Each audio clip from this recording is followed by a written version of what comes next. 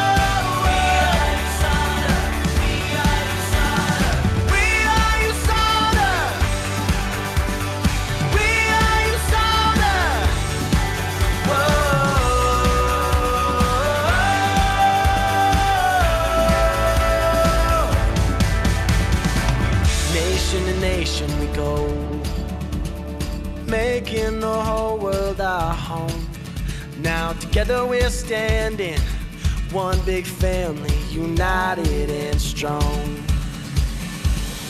We are USANA. We're changing the world.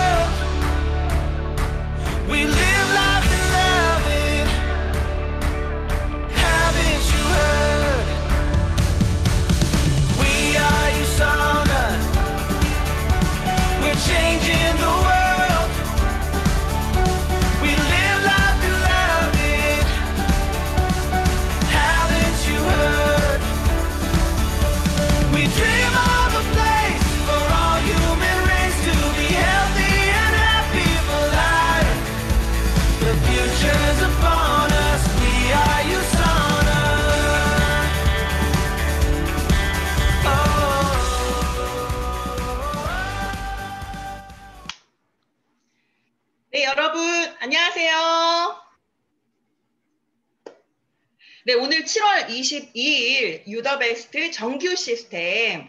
오늘은 여러분에게 오랜만에 인사드립니다. 네, 저희가 돌아왔어요. 무엇이든 물어보세요. Q&A 제 3탄! 네, 우! 저희를 보고 싶어 하신다는 얘기를 많이 듣고요. 저희가 어, 한 1년 만에 이렇게 다시 재결합을 했습니다. 크로스! 네.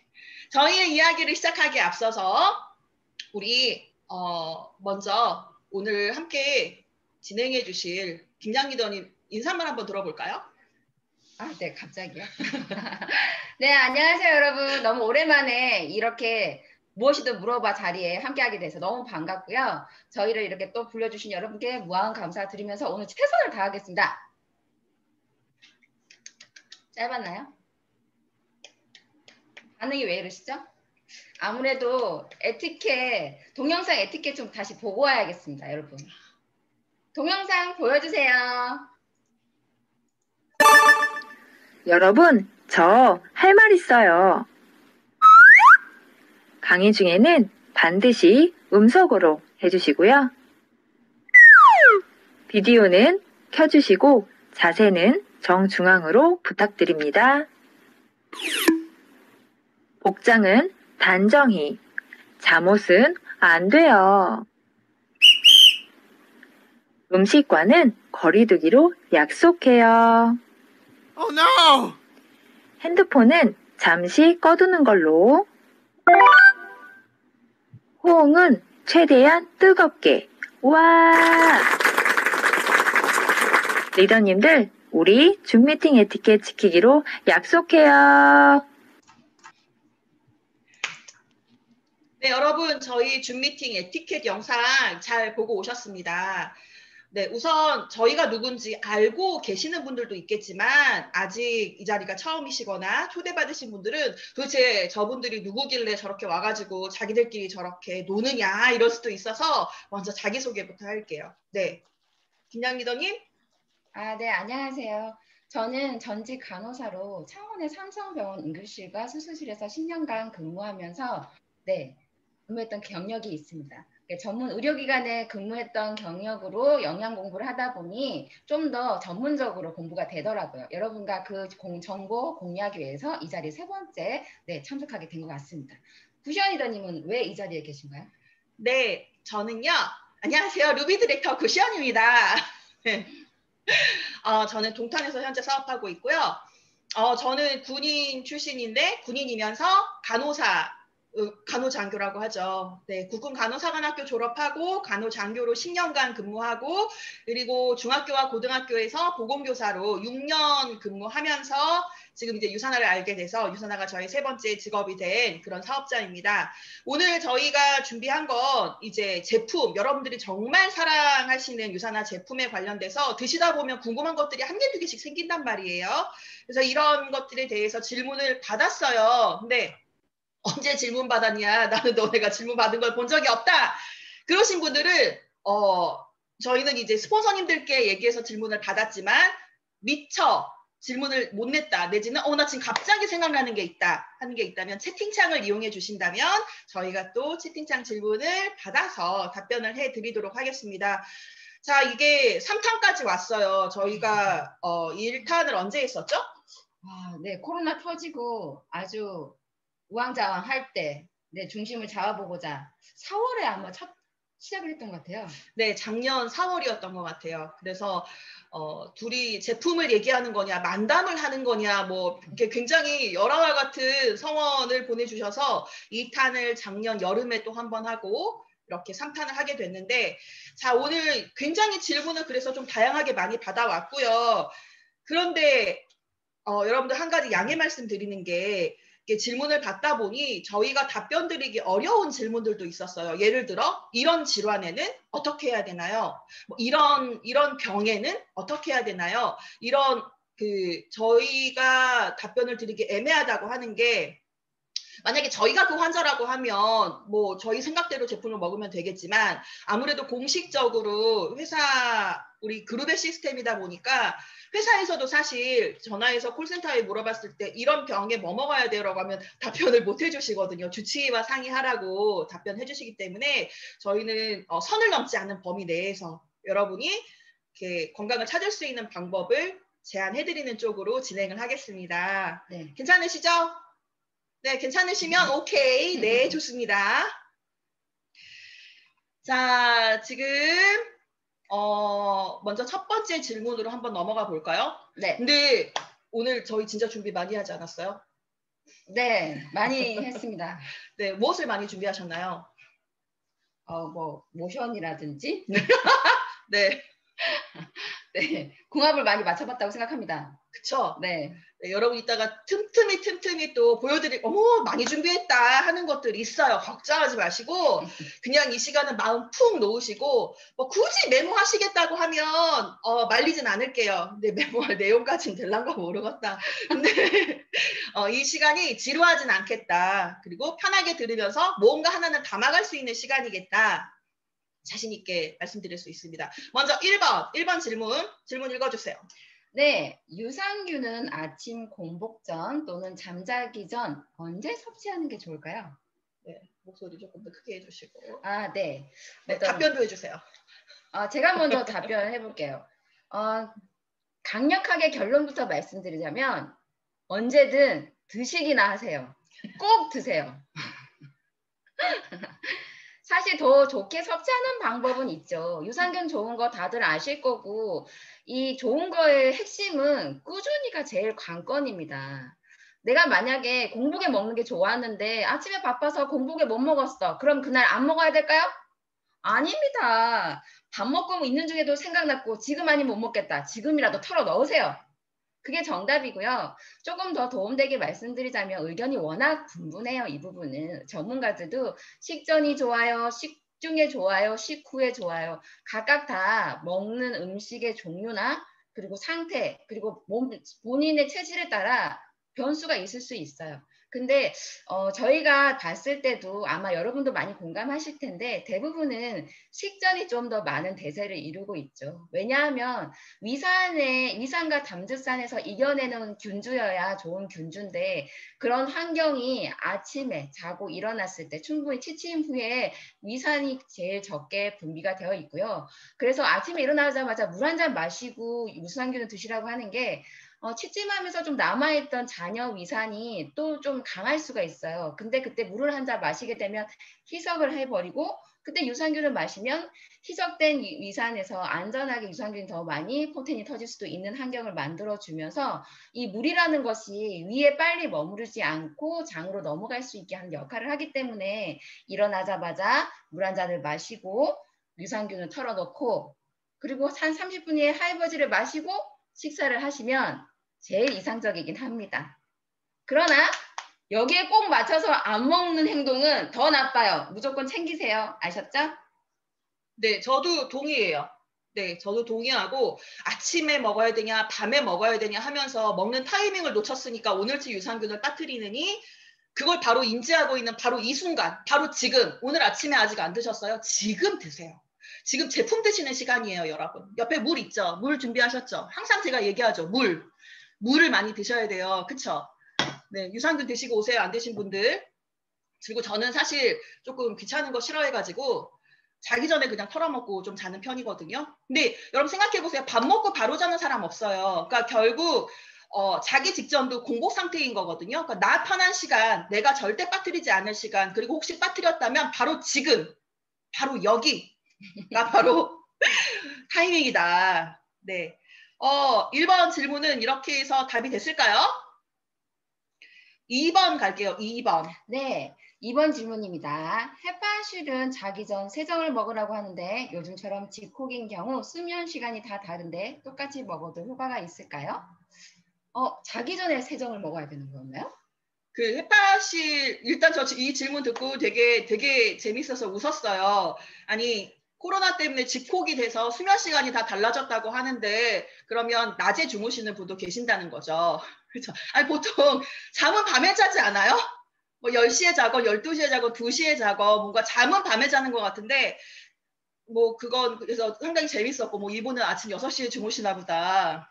근데 어찌 됐건 뭐가 됐건 헤파실 통 한번 보시면요. 헤파실에 뭐라고 써 있냐면 하루에 한번 그리고 한 번에 세 알 먹게 돼 있어요. 거기 어디에도 자기 전에 먹으라는 말은 없어요.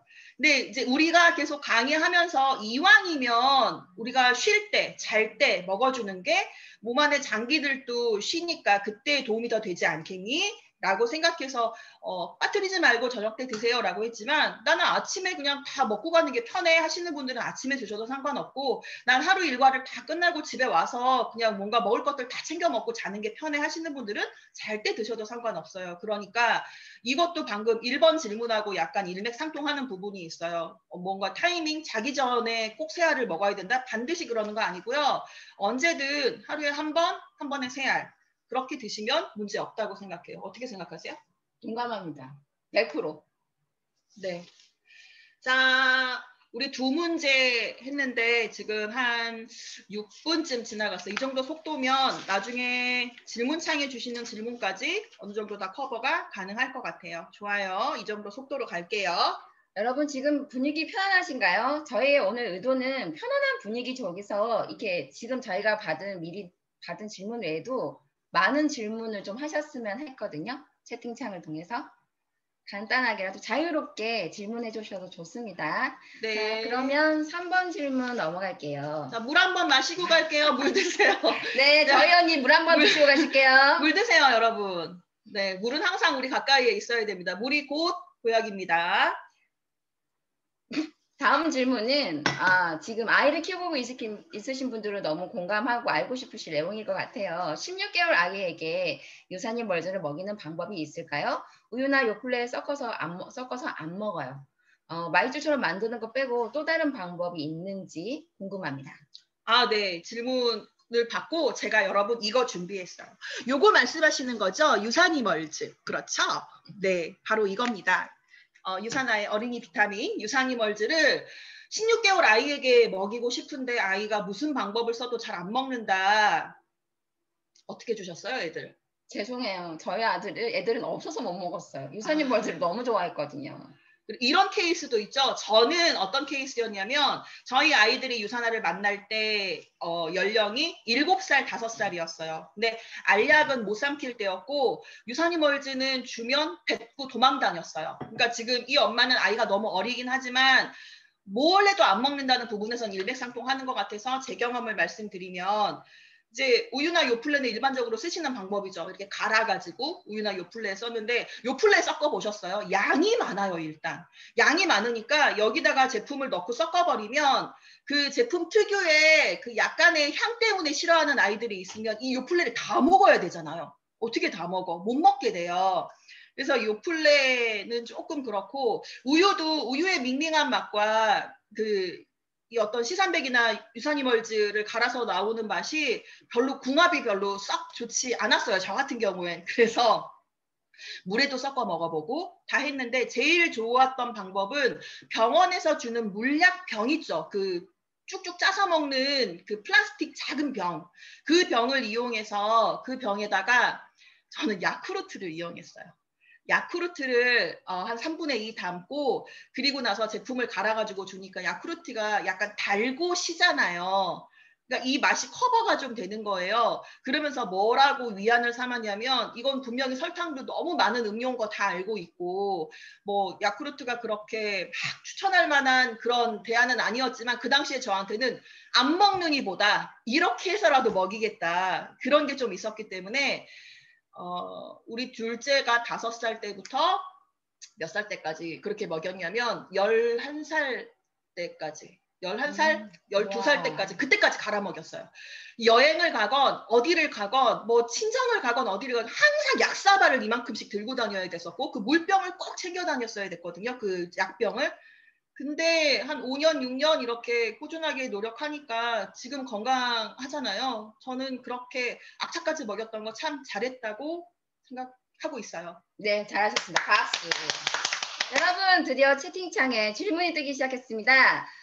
BFP 구혜진 리더님, 영양제 먹고 바로 타- 타이네롤이나 브루펜 계열 진통제 먹 복용해도 될까요? 라는 질문을 받았는데 혹시 개인적 컨디션이나 질병에 따라 안 되는 경우가 있을까요? 정직 간호사 리더님들의 답변 부탁드립니다. 어떻게 생각해요? 아, 저는 안 될 이유는 사실 없습니다. 근데 브루펜 계열의 약의 부작용이 소화 불량이 있어요.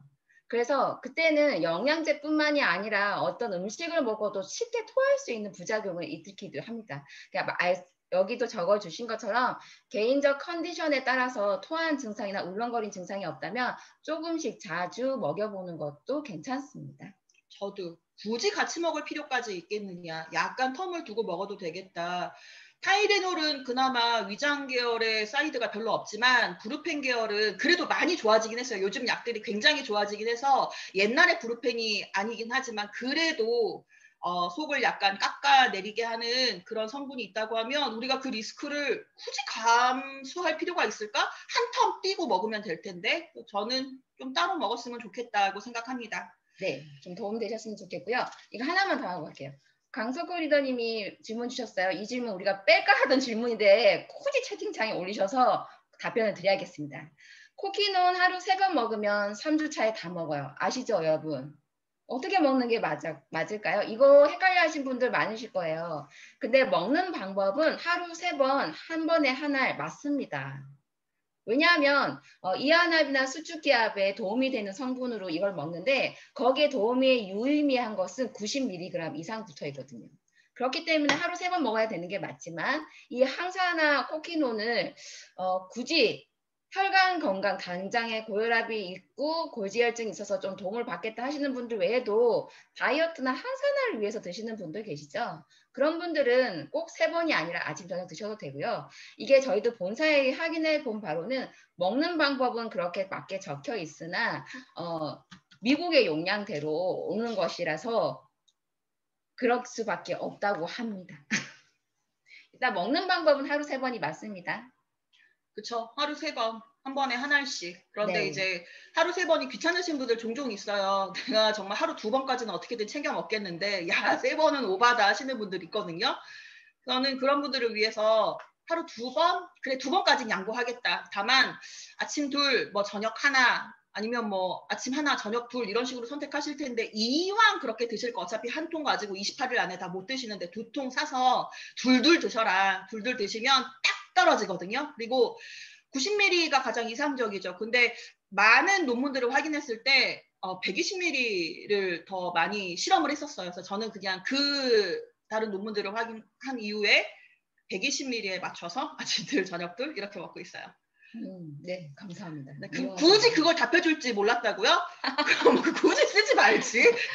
저 강석호 이재명님에 대한 애정이 있어서. 그럼요. 다른 분도 아니고 석호리더님의 질문인데 이제 저희가 준비한 질문을 한번 또 어, 대답해 볼게요. 네, 요거는 약간 두 가지 질문을 섞었어요, 저희가. 왜냐하면 다른 다른 질문이었는데 일맥상통할 수도 있겠다 싶어가지고 먼저 이거부터 화이버지 성분 중 부성분 코코넛 오일이 해바라기 씨 오일로 변경된 이유가 무엇이나요? 라고 저희도 모르는 걸 질문해 주셔가지고 저희가 이거를 또 본사에 확인하지 않았겠어요. 누구냐?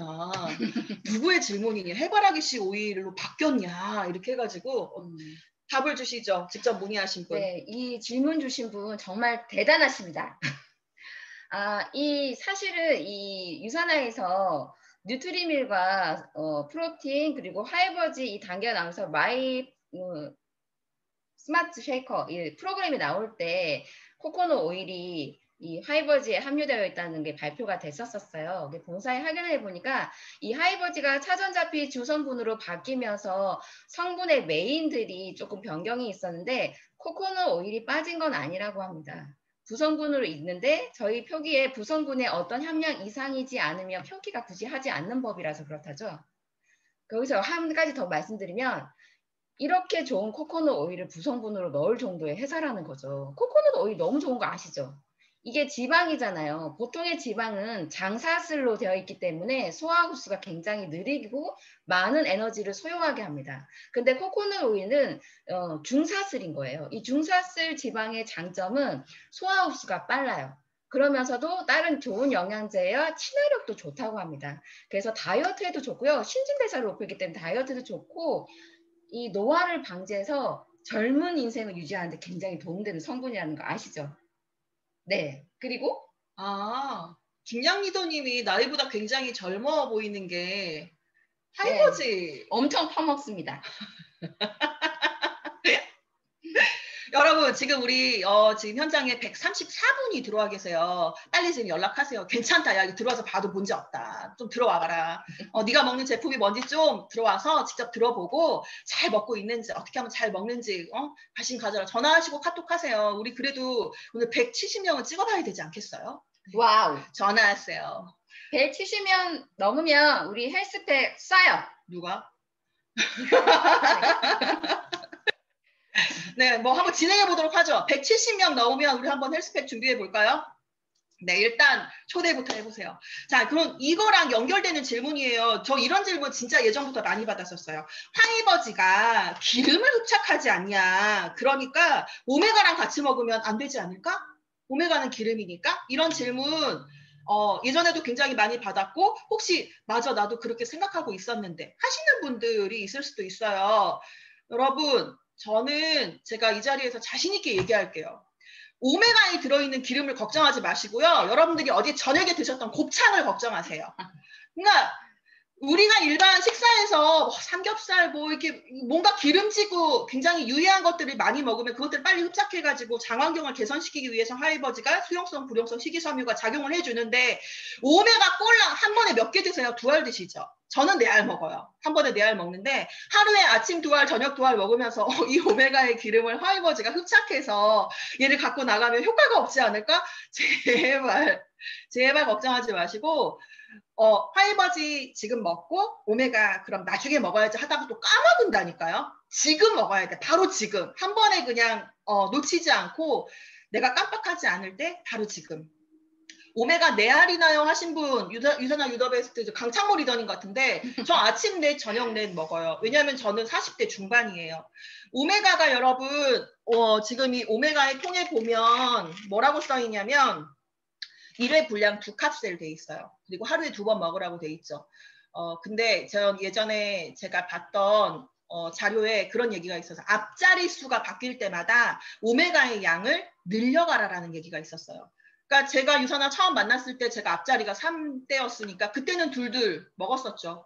근데 이제는 셋셋 늘릴까 하다가 어, 요즘에 좀 콜레스테롤도 염려도 되고 갱년기도 다가오는 것 같고 그럴 거면 넷넷 먹자. 그래서 저는 아마 앞자리가 5로 바뀌면 또 더 늘려서 먹을 거예요. 그러니까 이 어머 그럼 오메가 너무 많이 먹는 거 아니에요? 이렇게 질문하시는 분들이 있는데 그런 부분에 대해서 나중에 또 질문이 나오니까 함께 말씀을 드릴게요. 네, 감사합니다. 네. 자, 그리고 다음 질문 또 넘어갈까요? 유산화 제품 중 동시에 섭취하면 안 되는 제품이 있나요? 있어요?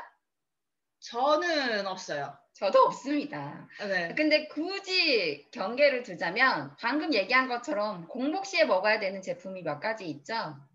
그 외에는 식중이나 식후에 바로 먹는 거잖아요. 그래서 그런 정도의 구분만 있지 특별한 구분이나 조심해야 될 사항은 저는 없습니다.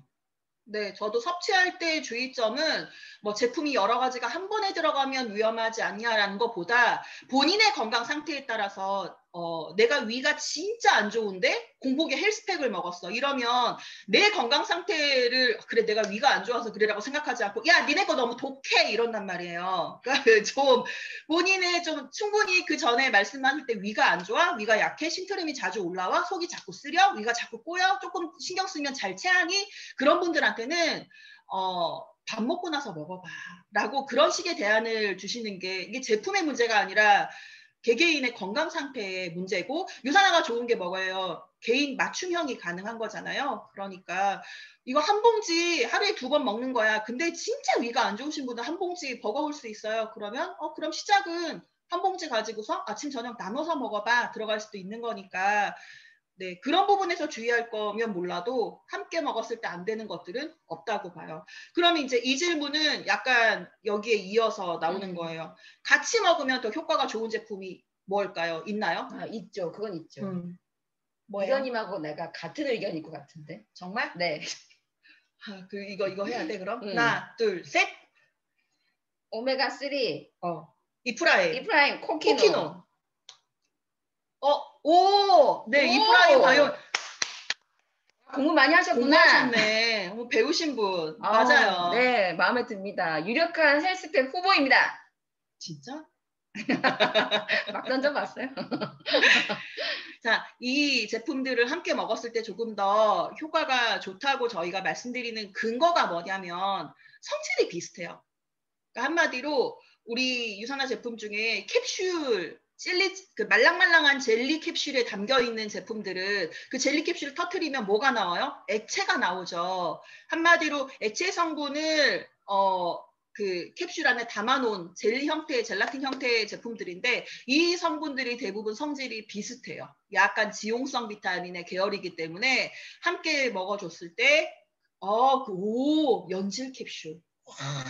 배우신 분. 진원진 리더님 감사합니다. 네, 연질 캡슐. 네, 함께 먹으면 참 좋아요. 그렇게 그런 제품들이 함께 들어갔을 때 훨씬 더 어, 시너지가 나죠. 그리고 아, 이 질문도 진짜 많이 받았어요. 헬스팩 좋은데 너무 크다. 엄청 많이 받는 질문이죠, 어, 여러분. 더 압축할 수는 없겠냐. 어, 어떻게 뭐라고 이런 질문이 들어왔을 때 뭐라고 답변을 해주시겠어요? 아, 저는 처음에 되게 성실하게 대답을 했어요. 이게 내 체내에 소화 흡수되기에 유, 어, 유통이나 체내 흡수되는 소화 과정에서도 유용하게 최적의 약 크기다. 80여 명의 전문가가 낸 결과이다. 뭐 이렇게 식으로 설명을 했는데요. 아, 두말할 필요가 없어요. 여기저기 1등하는 제품인데 크기를 안 바꿔요. 그 뭐, 무슨 이유일까요? 더 이상 못하는 거죠. 이게 최선인 거죠. 좀 더 붙였어요, 더. 예전에 저 그런 어 저 신규 사업자 때였어요. 저 신규 사업자 때 그룹에 약간 그런 안내지가 있었어요. 신규 그 제품에 대해서 많이 물어보는 질문들 이래가지고 답변을 좀 요약해 놓은 그런 답변이 있었는데 이게 유산화의 대부분의 제품들이 천연 원료를 추출해서 만든 거잖아요. 그러니까 이게 합성이거나 이런 게 아니니까 그 분자 구조를 더 이상 깨 부술 수가 없다는 얘기를 들었어요. 그러니까 가장 어, 자연에서 추출해 놓은 이 자연 천연 성분들을 가지고서 정제로 만들기 위한 최소한의 단위로 만든 게 이거다. 그러니까 여기서 만약에 어 어디 거는 되게 조그맣던데 어디 거는 되게 한 입에 쏙 들어가는데 어디 거는 삼킬 때 부담이 없는데 어 합성일 확률이 높지. 왜냐하면 그 분자 구조를 마음대로 막 쪼개고 이렇게 작게 만들고 하는데 그리고 일단 헬스팩은 여러분 함량이 함량 엄청나잖아요. 이 함량 부분에서도 이따 꼭 얘기할 게 있는데 이 함량을 가지고서 이 정도 정제로 만들어 놓은 것도 실제로 굉장한 기술력이라고 저는 생각하고 있어요. 어, 쉽게 얘기하면 우리 왜 흔히들 하는 예 중에 음, 그런 거 있잖아요. 어, 비타민 B 같은 경우만 봐도 네. 헬스팩에 들어있는 비타민 B9는 뭐 A사의 성인 비타민의 12배다, 15배다. 네. A사의 성인 비타민 예를 들어 하나를 12배, 15배를 생각해 보세요. 그걸 지금 요거 하나로 만들어 놓은 거라니까. 압축할 만큼 했다. 이게 최선이다. 네. 자, 그리고 아, 누가 그냥 먹어 하셨네요. 어디? 올라가 버렸어요. 아, 그래요? 네, 좋은 발언 감사합니다. 그냥 드세요. 아, 습관되면 목구멍이 넓어진대. 한번더 열알도 삼켜진대요. 아, 그래서 최고십니다. 그럼 다음 질문 하나 더 할게요. 어. 알약을 못 먹는 고객님의 다이어트 방법 어떻게 진행하면 좋을까요? 알약을 못 먹는 분이 예전에 리셋하고 싶다고 연락하신 적이 있었어요. 진짜 그분 가서 상담해 봤더니 정말 아무것도 못 삼키는 거예요. 근데 리셋이 워낙 좋다고 하니까 해보고는 하시고 싶, 해보고 싶으시대요. 저 그때 어떻게 할게요? 어떻게 하셨어요? 저 리셋할 제품을 제가 그냥 다 약사발에 갈아가지고 그냥 한 이렇게 개별적으로 포장해서 뉴트리미릴에 넣을 때 이걸 갈아서 넣어 드세요라고 다 갈아드렸어요. 정말 음, 음, 팔 손목 끊어지는 줄 알았어요. 음. 한 종일 이걸 전구 절구질만 하고 있었거든요. 음. 근데 그렇게 해서 드리니까 드시고 효과는 보셨어요. 근데 아까 약간 유사한 질문이 하나 있었어요. 아이가 어려서 비전엑스를 반으로 쪼개가지고 반알 반알 주고 있는데 이렇게 쪼개서 먹었을 때 안전하냐 그렇게 줘도 되느냐라는 질문이 있었는데 이 질문하고 연결하려고 제가 그 당시에 답을 안 드렸었는데 여러분 어, 한 알로 되어 있는 걸 반으로 쪼개면 이게 뭐 효과나 아니면 안전성 부분에서 문제가 생기진 않을까라고 염려하실 수도 있죠. 근데 걱정하지 마세요. 그런 부분 이거 하나 외형을 쪼갠다고 해서 어, 제품의 안정성이 무너진다? 어, 그런 회사 아니에요. 그리고 우리가 조금 걱정해야 될 것들은 어, 정제로 되어 있는 것들을 안에다 이렇게 밖에다 코팅을 좀 씌워가지고 목 넘김이 좋게 만들고 이런 것들은 이걸 쪼개고 가루로 만든다고 해서 성분이 달라지진 않아요. 그러니까 그게 뭐 위에 더 자극을 준다거나 뭐 장에 자극을 준다거나 그러지 않으니까 걱정 않고 부셔서든 쪼개서든 아까 저희 아이들도 갈아서 먹였잖아요. 그리고 그 비전엑스 반반 나눠서 먹는 것도 그렇게 해도 되고 비전엑스 가끔씩 열어보면 여러분 반절 쪼개져 있는 경우 있지 않아요? 어, 그런 경우 많아요. 유산화 제품이 이렇게 뭐랄까 너무 단단하게 아니고 몸 안에서 용해되기 쉽게 이게 적당한 용도로 제형을 만들어 놓은 거기 때문에 통 안에서 많이 흔들거나 뭐 큰 자극이 주어지면 얘네가 톡 하고 부러지어서 나오는 경우 있어요. 전혀 문제 없어요. 네, 괜찮아요. 네. 뭐 이렇든 저렇든 결과적으로 해독을 해서 일주일이 됐던 항산화를 겨- 경험해보고 싶어서 3개월이 됐던 해당되는 기간에 꾸준히 평생이면 더 좋고요. 꾸준히 챙겨 드시는 게 더 중요합니다. 네, 그 이 질문을 주셨던 분은 고객님이 이제 다이어트를 하셔야 되는 거잖아요. 그렇죠. 갈아라. 갈아라. 갈아라. 전달해야 되는데 가는 게 문제죠. 손목 좀 나가도 돼. 갈아라. 네. 이한선 이사님 감사합니다. 아 그러면 어, 다이어트 질문에 대해서 한번 더 해볼까요? 네. 이 다이어트를 할 때 뉴트리미 프로틴 섭취 필수잖아요. 그런데 먹으면 배가 아프신 분들이 있어요. 왜 그럴까요? 그런 분 저 많이 봤고 저도 되게 궁금해 있었던 부분이고 그걸 위해서 제가 지금 준비물을 진짜 많이 준비했는데 이거랑 이거랑 이거랑 설명드리려고 다 준비했는데요, 여러분. 아, 자, 첫 번째. 보통 우유나 뉴트리밀을 먹을 때 배가 아프다라고 하면 어, 뭘 먼저 생각하시게 되세요? 특히 우유 단백질, 유청 단백질 같은 경우에 아, 우유 유제품에 민감한가? 유제품에 조금 알러지가 있나? 아, 그래요. 맞아요. 뭐 유, 유단 분리증인가? 관련 그러니까 유제품에 관련해서 내가 조금 민감한 편이 아닌가를 생각하시게 되잖아요. 그래서 저는 그런 관점에서 그래 유청 단백은 그럴 수 있겠다 싶었어요. 근데 뉴트리밀은 왜 했거든요. 뉴트리밀은 왜? 뉴트리밀은 단백질도 분리돼도 단백 들어있는데 왜 했는데 제가 어제 저도 본사에 물어봤어요. 여러분 이 궁금한 거 있을 때 본사 활용하시면 진짜 좋고요. 너무 친절하게 알려주세요.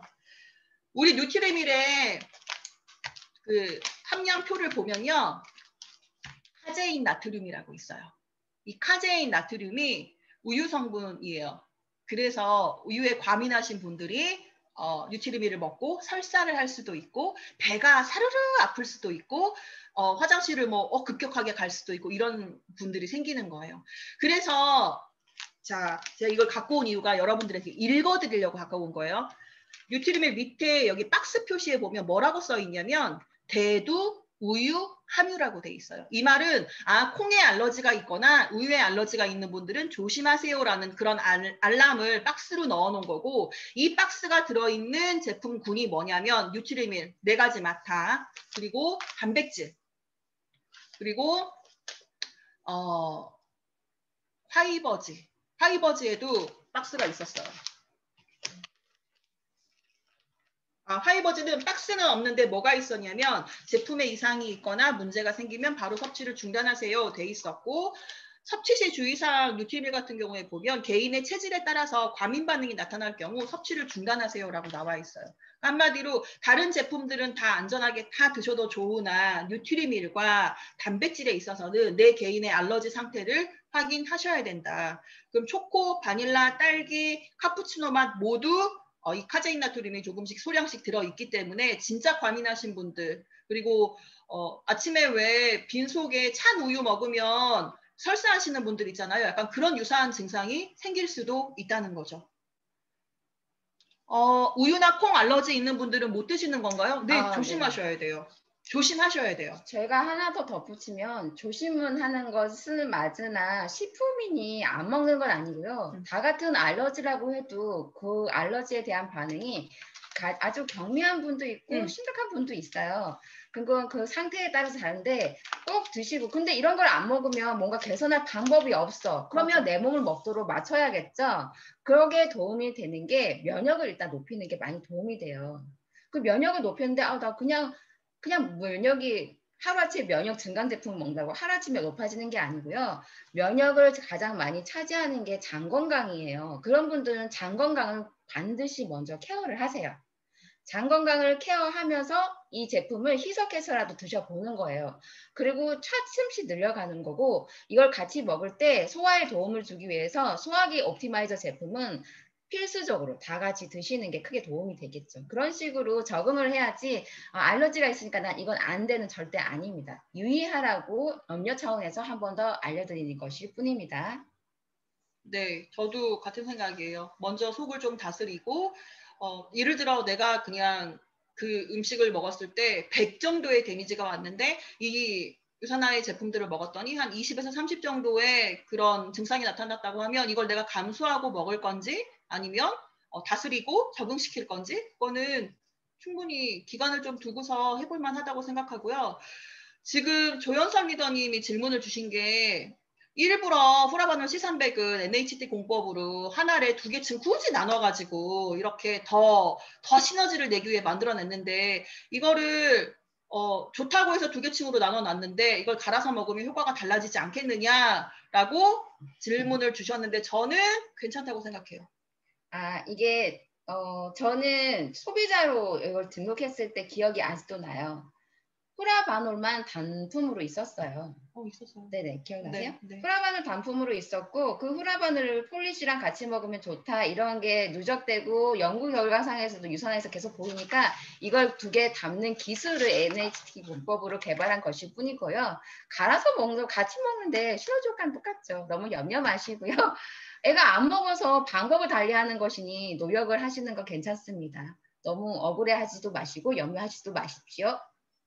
네. 어, 이미성 리더님이 화이버즈 섭취 후에 혈변이 나왔다면 어떤 경우일까요? 이런 경우는 이거는 체험 사례를 좀 말씀드릴 게 많은데요. 저는 소비 전달을 했어, 하거나 해독했을 때 이런 케이스가 많았어요. 그 그분들의 공통점이 뭐냐면 치질이 있으시더라고요. 그리고 그분들 또 공통점이 뭐냐면 그래서 혈변이 계속 나와요. 아니 그리고 나오고 나서는 더 좀 화장실 가는 게 편해지면서 혈변도 없어졌어요. 이런 식으로 야- 말씀하셔서 흔히 우리가 말씀드리는 좋아지는 과정의 명현 증상인 경우가 저는 좀 많았습니다. 음, 네. 어, 그리고, 아, 이윤서 리더님이 그런 케이스를 말씀해 주셨네. 아이가 원래 음. 우유 알러지가 있었는데 점차적으로 좋아졌다. 그런 네. 얘기 해 주셨고요. 네. 구혜진 리더님의 질문은 이제 소비자분이신가 보죠. 알약으로 된 건강식품만 먹으면 속이 뒤집어지고 너무 괴롭다. 음. 알로엔즈를 권유했는데 그래도 그렇다. 이것도 음. 알약 거부증이냐. 이럴 때 뭐 어떻게 하시겠어요? 이거 알약 거부증일 수도 있고요. 본인의 위 상태가 정말 약할 수도 있어요. 난 시민성이라고 봐. 그러니까 그러니까 알약 거부증일 수도 있다고. 시민성이 좀 많이 하긴 한데 이, 이런 사람이 근데 조금이라도 참고 견뎠는데 효과를 보기만 하면 시민성은 갑자기 하루아침에 치료되는 거거든요. 그래서 어, 떻게든 먹여보는 게 좋고 이 먹여보는데 설득할 때는 이 제품의 탁월성을 한 번 더 말씀하시면 좋겠고요. 저는 사실은 우리가 어떻게 보면 저희보다 더 전문가적으로 전달을 잘 하시는 분들도 여기 계세요. 근데 그렇지 않아서 전, 아, 내가 어떻게 얘기해야 될지 모르겠다 하실 때는 저는 유산화를 소개합니다. 이 책자 되게 굉장히 많이 추천해드려요. 이거 회사에서 발간한 책자고요. 여기 안에 보면 유산화의 탁월성이라는 것에 대해서 활자로 아예 회사에서 적어놨는데 그 내용이 기가 막혀요. 그 내용은 그대로 함께 읽는다든지 숙지를 하셔서 차근차근 전달해 주시면 어떤 감언이설이나 말을 잘하거나 이럴 필요 없이 이것이 그냥 그대로 팩트이기 때문에 전달하실 때 도움되시면 좋겠습니다. 네. 근데 만약에 제가 저 케이스였다면 저는 유산균 줄 거예요. 어 맞아요. 저도 그럴까요. 저도 그럼 가루로 먹어. 유산균 줄 거예요. 유산균 하나만 꾸준히 먹어도 좋아지는 게 어, 너무 꾸준히 많거든. 먹어도 되게 좋아지거든요. 되게 좋아지고 나면 그때 가서 알로엔즈 넣고 그때 가서 C300을 넣고 뭐 그때 가서 뭔가 차근차근 차근차근 올리는 방법도 저는 한 가지 방법이라고 생각해요. 아, 네, 머리 잘 쓰시네요.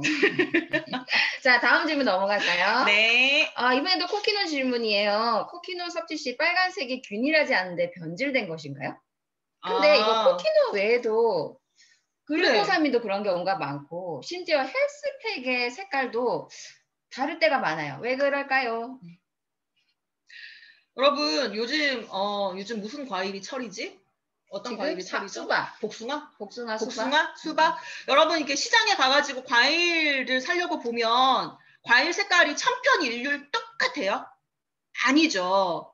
그러니까 자연에서 온 것들은 기성품 이게 어떤 공장에서 나오는 찍어내는 제품이 아니기 때문에 100% 똑같을 수 없어요. 저는 이렇게 제품의 컬러가 약간씩 차이가 나는 게 그게 진짜 유산화가 와 이거 천연에서 온 거 맞구나라는 걸 증명해주는 자료라고 생각하거든요. 그런 증거라고 생각해요. 그러니까 코키논 같은 경우에도 뭐 도나리엘라 추출물이라든지 음. 뭐 저기 프로코사 글루코사민 같은 경우에는 뭐 강황 추출물이라든지 비전엑스 같은 경우에는 각종 베리류들 이렇게 들어가는데 색깔이 약간씩 그때그때 다르고 비전엑스만 해도 이 부분은 조금 더 빨간색이 강한 것 같고 이 부분은 조금 더 보라색이 강한 것 같고 아무리 이걸 분말 형태로 추출물들을 만들어서 파우더를 잘 섞어서 정제로 만들어도 이렇게 몰리거나 쏠려서 색이 드러나는 부분이 있기 때문에 그 부분은 염려하지 않으셔도 되는데 근데 이제 그건 있어요. 빨간색이 균일하지 않는데 변질된 거냐고 물으셨으니까 혹시 뭐 오픈하고 시간이 많이 지났는지 아니면 유효기간 이내의 제품인지 그런 것들은 좀 확인하시고 그런 것들이 문제가 없었다. 유효기간 충분했고 방금 뜯었는데 뭐 색이 조금 달라 이런 거면 그건 걱정하지 않으셔도 된다고 말씀드리고 싶습니다. 네, 감사합니다. 자, 다음 질문 넘어갈게요. 뼈에 좋은 우유나 칼슘 등을 매일 챙겨 먹고 있어요. 그러면 칼슘 섭취는 따로 안 해도 되는 건가요? 어떻게 생각해요? 여러분, 지금 현대인들에게 아주 심각하게 부족한 영양소, 칼슘, 마그네슘, 비타민 D입니다.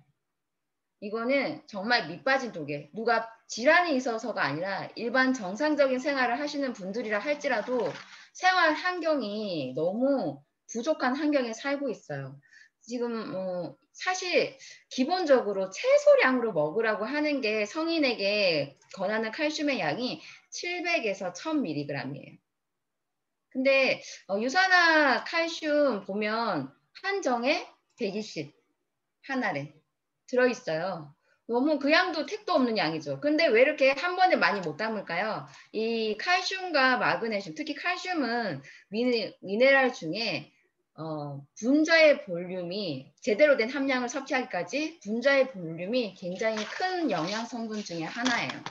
그래서 소화 흡수도 쉽지 않습니다. 그래서 하나 말씀드리 결과적으로 말씀드리면 음식을 통해서 꾸준히 먹는 습관 아주 좋아요. 칭찬해 드리고 싶지만 절대 충분히 드실 수 없기 때문에 보조 식품으로 이렇게 함께 먹어줘야 되고요. 그 보조 식품을 정- 선택할 때도 정말 소화 흡수가 어려운 성분이기 때문에 흡수가 잘 되는 좋은 성분을 선택해서 드시라고 말씀드리고 싶습니다. 네. 자, 우리 이제 어느 정도 절반 왔는데 제가 화면을 쓱 넘겨봤어요. 자, 어떤 분들이 이렇게 눈을 초롱초롱하고 듣고 계시나, 어, 떤 분들이 우리랑 아이 컨택을 하고 계시나, 몇 분은 들어오셨나. 여러분 조, 조심하세요. 저 막 기록하는 거 알죠? 나 지금 저하고 눈이 마주치시는 분은 손을 한번 흔들어 주세요. 반갑습니다. 네. 열심히 참여해 주셔서 너무 감사하고요. 칼슘 같은 경우는 그래요, 진짜. 그리고 음식으로 먹는 것들이 생각보다 소화흡수율이 굉장히 낮아요. 그러니까 우리 사실 우리 유산화 제품들 다 음식으로 섭취할 수 있어요, 여러분. 근데 그 필요한 양만큼을 섭취하려다 보면 정말 산더미처럼 쌓아놓고 먹어도 그걸 우리 몸에서 잘 소화 흡수 시킬 수 없다는 것 때문에 그래서 건강 기능 식품이 나온 거잖아요. 좀 똑똑하게, 좀 현명하게, 좀 이렇게 최적의 함량을 가장 안전한 방법으로 섭취하도록 그렇게 해서 우리가 건강기능식품을 선택하는 거고 그 중에 유산화를 선택해서 드시는 거니까 나 원래 저기 어 멸치도 잘 먹고 나 원래 저기 뭐 칼슘 우유도 잘 먹고 다 잘 먹어 하시는 분들은 네 그거 열심히 드시고 거기다가 플러스로 마그넷 칼디 더 드셔주시면 돼요. 자 다음 질문. 아 그래 이런 것도 이거는 약간 질병명이 나오긴 했지만 저희에게 이런 병에는 뭘 먹어요? 이런 접근이 아니었기 때문에 짧게만 얘기하고 갈게요. 이런 질문 되게 많이 받았어요. 왜냐면 어, 유방암 환자한테 이프라임 먹어도 돼요? 아니면 뭐 자궁에 혹이 있으면 뭐 주의해야 될 비타민이 있어요? 아니면 뭐 갑상선 뭐 항진 저하에 뭘 써야 돼요? 이제 되게 흔히 받는 질문이긴 하거든요. 근데 질문들이 이분들이 뭘 먹어야 돼요? 라고 물어보시는 것도 있지만 뭘 먹으면 안 돼요? 라고 물어보시는 것도 있어요. 조심스럽죠. 우리가 의사가 아니니까. 근데 그래서 여기에다가 사실 저희가 그렇게 생각해봐. 사전에 얘기를 나눌 때 우리가 유방암 환자라고 생각해보자. 리더님은 이프라임 먹어요? 열심히 먹을 겁니다. 저도 먹어요. 그리고 만약에 자궁에 혹이 있다고 치자. 그러면 안 먹을 거 있어요? 없습니다. 전 오히려 리셋부터 다시 할 거예요. 그러니까 어, 유산하는 회사가 제품을 굉장히 안전하게 만들고 안정성 있게 만들고 그리고 독성 없게 만드는 것들을 각종 기관을 통해서 막 공시해 놓은 것도 있지만 이게 약간 우리끼리 얘기긴 한데 유산화 진짜 쫄보예요. 제품을 쓰는 데 있어서 과감하지 않아요. 진짜 안전하게 써요. 진짜 안전하게 쓰고 어떤 선을 넘지 않기 위해서 굉장히 보수적으로 차근차근 접근하는 회사이기 때문에 이 회사에서 만든 제품이 어떤 질병이나 이런 것들을 어, 됐을 때 여기에 먹어도 돼? 저는 가장 내 몸 안에 세포를 다스리고 세포에 영양을 직접적으로 공급하는데 제일 안전하고 쉬운 방법이라고 생각해서 저는 먹어요. 그리고 내가 어떤 염증이 왔다? 뭐 예를 들어 어떤 그 질병 그리고 음. 깜짝 놀랄 만큼 어머나 자궁이 혹이 때 이렇게 됐다? 음. 저 진짜 리셋부터 다시 할 거예요. 그러니까 뭐 그래도 쫄보라는 표현은 좀 그렇지 않습니까? 전 그렇게 최첨단 건강식품에서 최첨단 앞서 선두주자한테 어, 마이런 웬츠 박사가 이 회사를 설립해서 이런 식으로 회사를 운영할 때 얼마나 많은 분들에게 지탄을 받고 어? 그럴 수도 있잖아. 되게 어, 50년, 60년간 세포 연구를 했어요. 그 분야에서 1인자예요. 내가 세포 연구한 거에 대해서 자신감이 엄청나면 야, 남 믿고 따라와 할 수도 있어요. 그런데 유산화가 절대 그 선을 넘지 않는다니까요. 여러분, 이 정도 선까지 드시고 어, 용법에 맞게 드시고 그리고 뭐 안전하게 드시고 개인의 알러지만 체크하면 돼요. 내가 알레르기가 어디에 있는지. 그러니까 건강식품과 약의 차이는 알러지가 뭔지를 알고서 그 제품을 피해서 섭취하는 건 건강기능식품이고 약은 우리가 부작용이나 내성을 염려하는 거잖아요. 그러니까 그런 부분을 걱정할 필요가 없다는 거죠. 그러니까 아니 어, 유방암이 걸리면 밥 안 드실 거예요? 식사 안 해요? 유방암 들리면 과일도 안 먹어요? 밥도 안 먹고 과일도 안 먹고 외식도 안 하고 아무것도 아, 안 하실 거예요? 피곤합니다. 생각만 해도 너무 피곤합니다. 그렇죠. 그래서 어, 우리가 반찬으로 먹을 수 있는 것, 음식으로 먹을 수 있는 것들을 그냥 가장 최적의 성분들, 최고의 안전하게 그냥 뽑아가지고 알약으로 만들어 놓은 것 뿐이지 얘를 약이라고 인지하시면 안 되거든요. 반찬이에요. 그러니까 지금 이거 오메가는 고등어 반찬이고요. 네. 비전엑스는 어, 베타카로틴 반찬이고요. 약간 이렇게 반찬 개념으로 생각하시게 되는 거예요. 그러니까 안전한 거지. 음. 아, 그리고 여기 누가 질문할 고3 남학생입니다. 평상시 설사를 자주 한, 했는데 헬스팩 먹어도 서- 계속 설사를 해요. 효과가 없다 생각이 들어 그만 먹어야 할 것 같다고 하네요. 어떻게 할까요? 이럴 때는 좀 체인지가 필요합니다. 네, 뭐 장이 가민하거나 약하거나 해서 미래날이 들어가서 더 설사를 유발되는 경우라면 장 제품으로 케어를 바꾸는 게 우선이라고 생각합니다.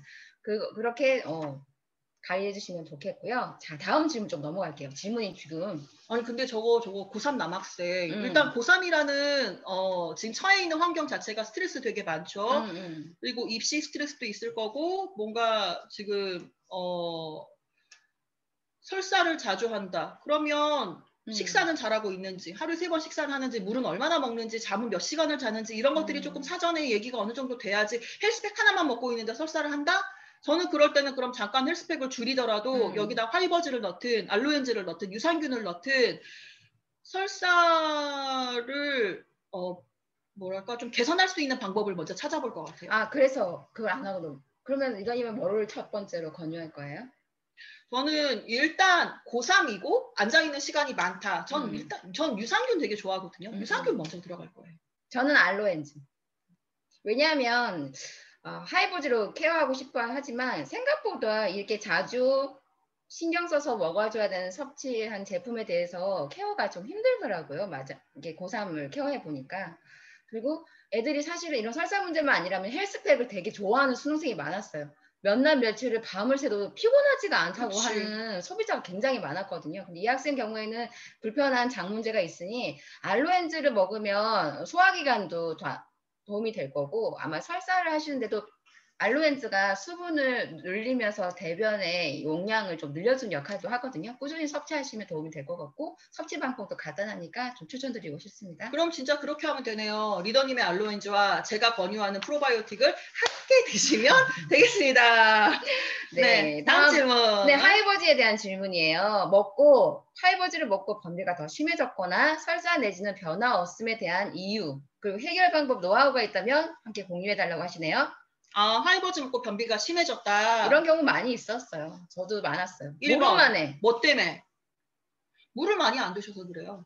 근데 여러분 물 많이 드세요라고 얘기하는 거 그거 생각보다 되게 주관적이에요. 원래 물을 하루에 잘 안 드시는 분은 많이 드세요 이러면 정말 뭐 이만한 컵에다 종이컵에다 한 잔 먹고도 어 나 오늘 물 많이 먹었어 라고 얘기해요. 그러니까 구체적으로 객관적으로 얘기해 줘야 돼요. 500ml짜리 병 4개 드세요 라고 하든지 500ml짜리 병 6개를 드세요 라고 하든지 여기다 녹차 티백이나 커피 같은 거 말고 그냥 물로만 드시는 거예요 라고 구체적으로 얘기를 해줘야 이분이 그걸 물이라고 인식하지 물 많이 먹으라고 해가지고 나 저기 스타벅스 가서 아메리카노 벤티 사이즈로 먹었잖아. 그건 커피잖아요. 물 아니잖아요. 그쵸?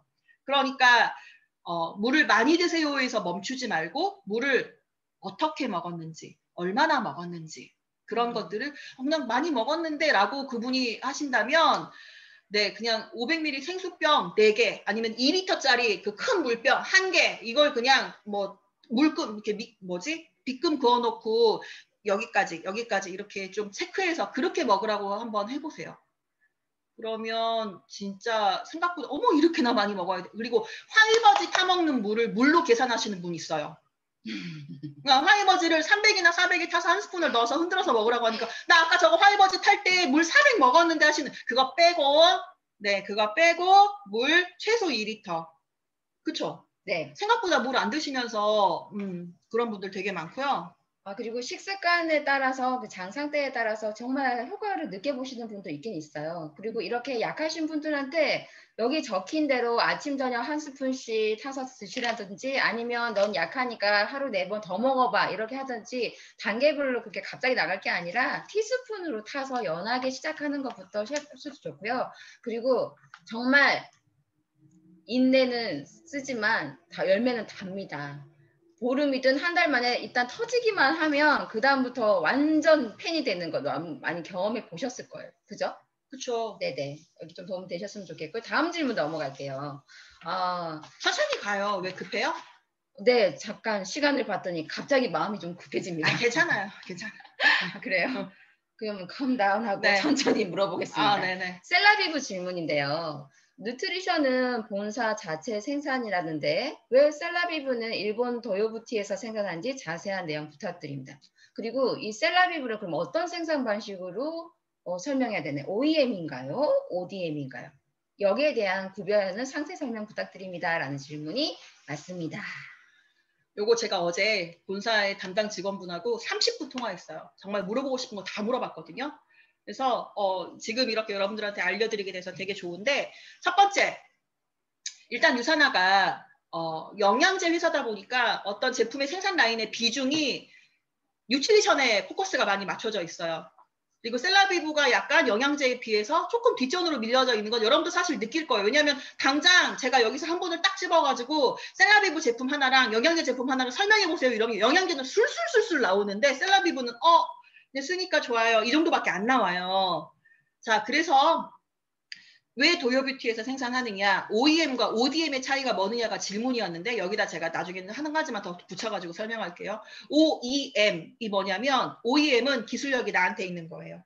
내가 기술을 갖고 있고 너네는 설비만 갖고 있으니까 내 기술, 내 레시피를 너네한테 줄게. 거기서 만들기만 해. 이게 OEM이에요. ODM은 뭐냐면 이 회사가 공장을 갖고 있는 회사가 기술까지 좋아. 그러니까 야 니네가 제품도 다 개발해 가지고 니네 설비에서 만들면 우리는 그걸 갖다가 팔기만 할게. 근데 우리가 브랜드 네임이 좋잖아. 우리가 대기업이잖아. 그러니까 니네가 만들고 야 우리 라벨 붙여 가지고 팔자. 이게 ODM이에요. 그럼 생각해 보세요. 셀라비브는 OEM이겠어요? ODM이겠어요? OEM이지. 기술력은 우리한테 있죠. 이 기술이 특허고 이 기술이 자산이잖아요. 그러면 이 중에 왜 도요뷰티를 썼냐. 가뜩이나 우리나라는 일본이랑 민감하고 방사능도 있고 막 이런저런 거 복잡한 거 많은데 왜 일본에서 했냐. 그건 우리만 민감한 거지.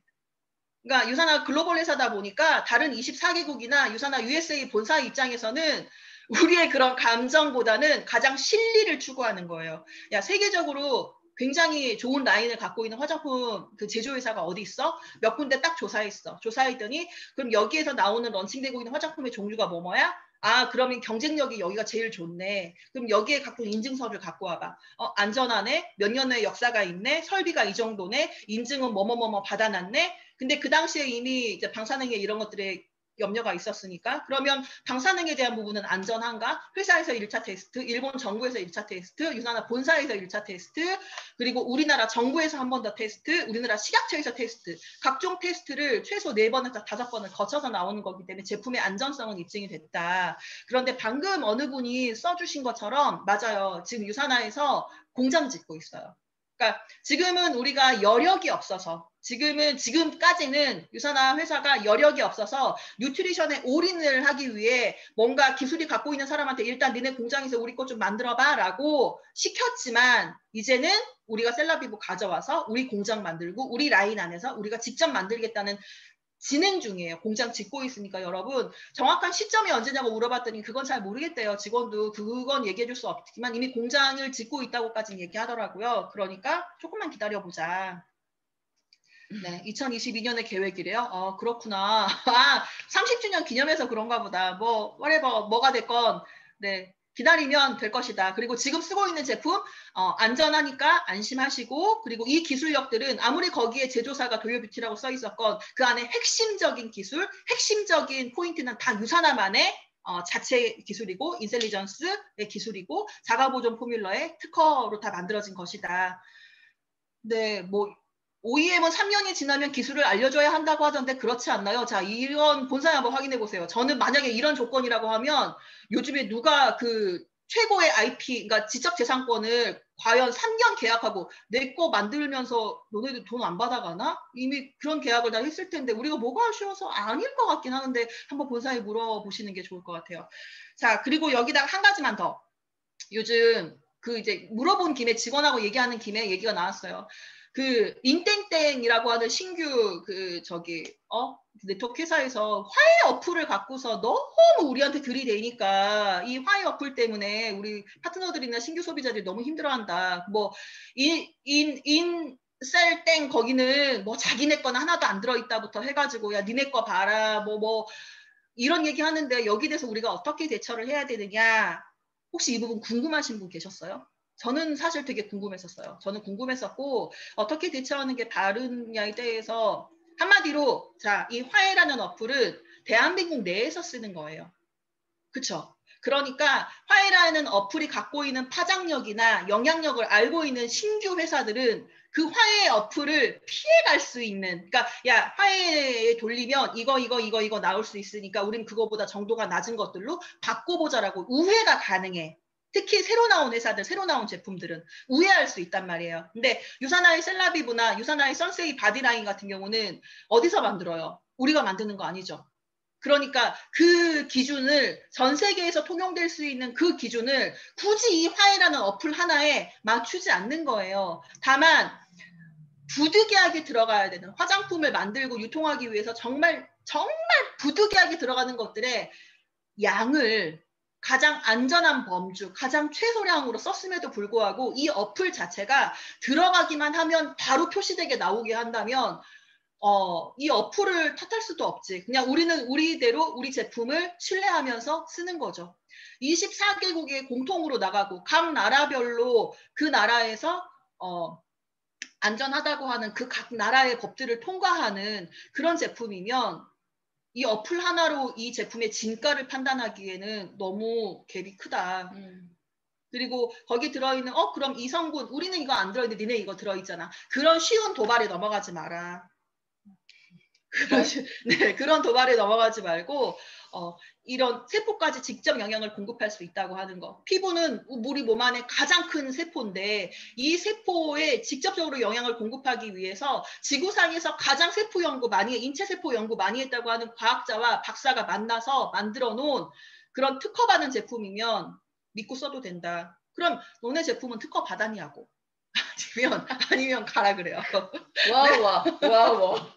네, 일단 그 화해는 좀 민감한 부분이긴 하지만 그런 부분에 대해서 여러분이 아는 게 없으면 쫄아요. 그러니까 아는 게 없어도 자신감으로 밀고 한번 나가보시기 바랍니다. 자신감 가져도 될 것 같더라고요. 네 다음 질문 해볼까요? 네. 우리 시간 많네. 천천히 아, 해도? 되겠는데요. 어, 그렇군요. 네. 자 그럼 이 질문 한번 해볼까요? 아, 네, 네, 네. 네, 이것도 특정 그게 나오긴 하지만 이소플라본이 식물성 호르몬제라고 하여 안전하지만 자궁 내막증이 있으신 분들에게 왜 추천하지는 않는지 사업자들은 믿고 먹지만 자궁 내막증이 있는 소비자들에게 어떻게 설명을 해야 하며 이소플라본 대신 권할 수 있는 유산화 제품이 있다면 어떤 게 있을까요? 드시는 분이 불안해하시면 저는 권하지 말라는 주의입니다. 그 이소플라본을 먹어도 문제되는 건 사실 없어요. 근데 이거를 뭐 내가 의사도 아닌데 전문가처럼 어떻게 얘기해서 이해시킨다 이거는 사실 아니에요. 그리고 식물성 호르몬제라서 이거 자체가 그 들어가서 내 여성 호르몬 그대로 되는 게 아니라 어, HealthPak이 내 몸에 들어가서 밸런스를 만나, 만, 맞춰서 InCelligence 기술에 의해서 상, 시스, 시너지 효과가 있는 것처럼 어, 유산화의 이소플라본도 마찬가지거든요. 그리고 대두 성분으로 여성 호르몬을 대처했을 뿐만 아니라 부성분이 혈관을 건강하게 한다거나 어, 심신을 좀 안정시킨다거나 그리고 뼈에 좋다거나 이런 부성분들 항산 성분이 많이 들어가 있어요. 그래서 도움이 되는 건 맞지만 굳이 이런 걸 불안해한다면 이런 분 같은 경우에는 사실 세포가 건강하지 않은 거잖아요. 해독과 세포를 건강하게 할 수 있는 항산화 제품이 얼마든지 많이 있습니다. 그런 쪽으로 추천해 주셔도 좀 좋을 것 같아요. 네, 저는 먹겠지만 혹시라도 불안해하시는 분들을 위해서 대안을 제시하자면 이거예요. 리딩 E-Prime. E-Prime 주세요 그러면. 그러니까 이소플라본 자체에 어뭐 주치의와 상의해라 라는 문구가 들어 있어서 어, 나 이것 봐 이것 때문에 못 먹겠어. 우리 의사 선생님이 갖고 갔더니 이거 먹지 말래. 그럴 수 있죠. 모든 의사들이 다 영양학이나 이런 부분에 대해서 호의적이지도 않고 다 그분은 그 질환에 대해서는 전문가일 수 있지만 우리처럼 전반적인 영양과 세포 영양을 공급하는 부분에서는 오히려 더 문외한일 수도 있어요. 의사들 되게 똑똑할 것 같아요. 아니에요. 저희는 간호사 출신이지만 저희가 유산화 만나서 공부하기 전까지는 저희는 아이가 콧물만 조금 흘리면 무조건 업고 병원으로 뛰던 사람들이에요. 그리고 무조건 항생제, 진통제 이런 것만이 답이라고 생각하던 사람들이었어요. 그러니까 전문가적인 오류에 속지 마시고 안전하게 가고 싶으면 가장 안전하게 그냥 범주가 넓은 걸로 드세요. 이프라임 같은 경우는 되게 안전하게 권유할 수 있어요. 네. 네. 이소플라본 먹는 날엔 피가 나는 분 어떻게 하죠? 몇, 몇 알을 드셨대? 몇 알을 드셨고 몇 번을 드셨고 얼마나 드셨고 이분은 그러면 뭔가 문제가 있어서 이소플라본을 드셨는지 연령은 어떤지 생리 주기는 어떤지 이게, 질문이 되게 많아지잖아요. 왜냐하면 개인의 건강 상태가 어떤지를 확인하고 싶으니까 어 그렇게 뭔가 정보가 많을수록 답변이 조금 더 정확하게 갈 수 있는데 근데 그냥 통상적으로 이소플라본 먹었을 때 피가 났대. 어떻게 생각해요? 아, 그러니까 폐경을 맞으셨다가 다시 생리를 하는 것처럼 피를 비치는 분이 있으신 건가요? 아니면 40대 유사한 제품 잘 드시는데 생리가 아닌 주기에 피가 난다는 말씀이신 건가요? 너무 서토리더님은 이래서 정말 진행을 못하겠습니다. 저는 그게 일종의 어, 반응이라고 생각해요. 오히려 반응을 보이고 있다. 저도 그렇게 생각하죠. 네, 새살이 돋아나거나 뭔가 어디에 가서 이렇게 건드릴 때 가서 뭔가 그 부분이 사부작 사부작 사부작 건드려지고 있다. 영향을 받고 있다. 그래서 저라고 하면 어 이거 조금 지켜보고 좀 꾸준히 3개월 4개월 먹어보겠다라고 생각하겠지만 그분이 그것 때문에 어머야 나 이거 먹었더니 피나서 못 먹겠어 하면 그냥 마세요. 마시고 뭐 이프라인 같은 걸로 돌려보시고 나중에 다시 또 그분이 갱년기라든지 이런 게 오면서 아 근데 먹긴 먹어야 되는데 니네께 좋긴 좋지 안전하게 니네께 최고잖아 이미 드시고 있는 분이라고 하면 그럼 그때 다시 한번 먹어봐 이렇게 천천히 가는 것도 괜찮을 것 같아요. 그렇죠. 먹고 이렇게 다시 출혈이 있어서 되게 불편하다고 하면 그때는 모두 스탑하시면 돼요. 근데 기간을 가지고 먹으면서 관찰을 하셔도 그 다음 단계가 어떨지 지켜보는 것도 괜찮은 방법입니다.